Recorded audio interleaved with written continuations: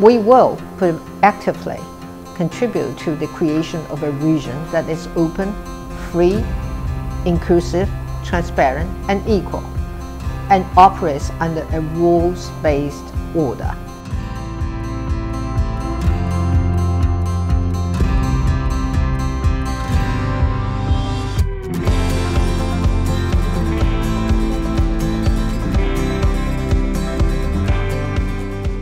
Taiwan has shown in its efforts to combat COVID-19, real change is possible through collaboration, particularly where the people trust their government, where their government is open and transparent, where the people are brought in as partners.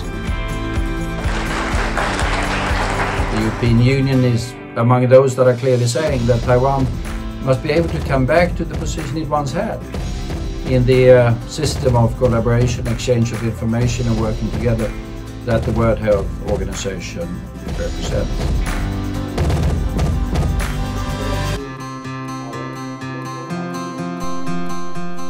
The spread of virus is a threat to mobilize lifestyles and dignity, which is a threat to human society around the world.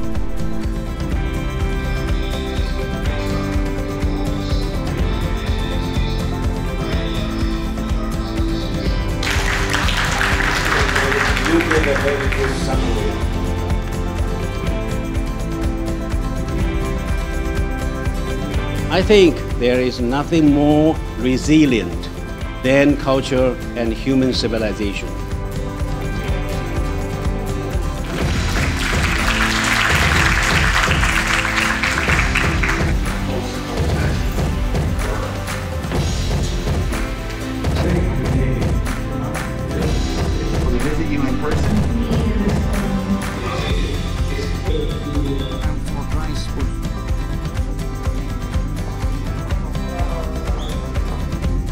Excellency Vice President Lai Ching-te has just arrived in the auditorium.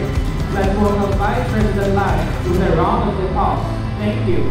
As long as the world is willing to welcome Taiwan with open arms, Taiwan will surely make even greater contributions to global public health and medical care.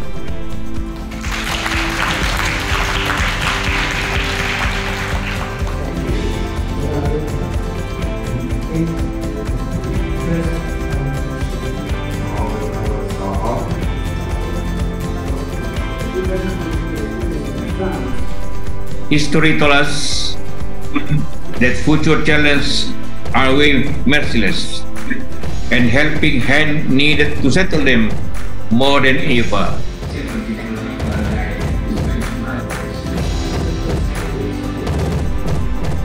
A lot of discussions over new and higher technology, but I'm recommending that we should be creative.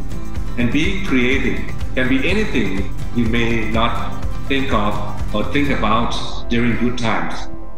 In the midst of great change, we should encourage world leaders not to move away from multilateralism, but to find creative and comprehensive solutions to economic, social, and political problems through cooperation in multilateral context.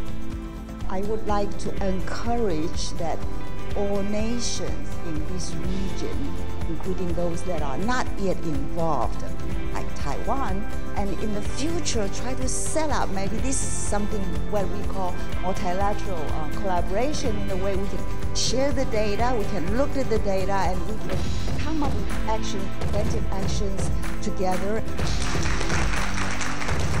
Thank you, Dr. He. That really uh, ties into this thread of multilateral collaboration on the commons and also about a digital infrastructure that's part of the resilience strategy that all the different nations can join through their data curation and contributions.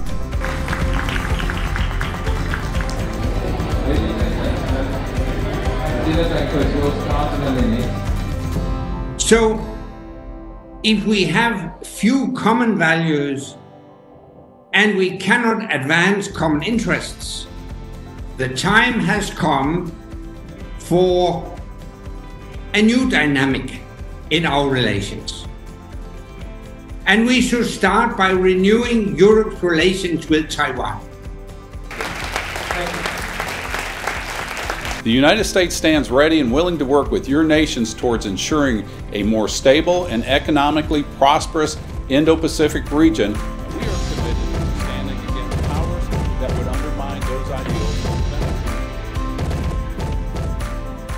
The key principles of the policy, namely people centric philosophy, mutual assistance for mutual benefit, and sustainable development, will continue to guide Taiwan in our relations with our partners in, the, in this region and around the world.